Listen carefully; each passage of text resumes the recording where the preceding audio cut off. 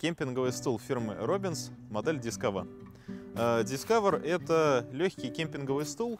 Если вы помните старые советские практически самодельные стулья, которые были популярны, это примерно то же самое, только еще более легкое и в современном исполнении.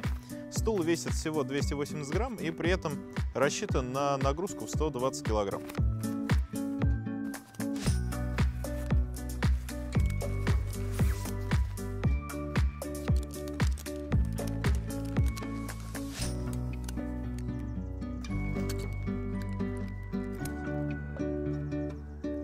Стул очень миниатюрный, он выполнен из качественного алюминия, а сидушка сделана из плотного полиэстера.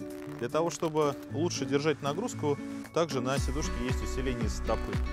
Очень удобная штука, можно брать ее с собой в любой поход, поскольку стул практически ничего не весит и не занимает почти никакого места.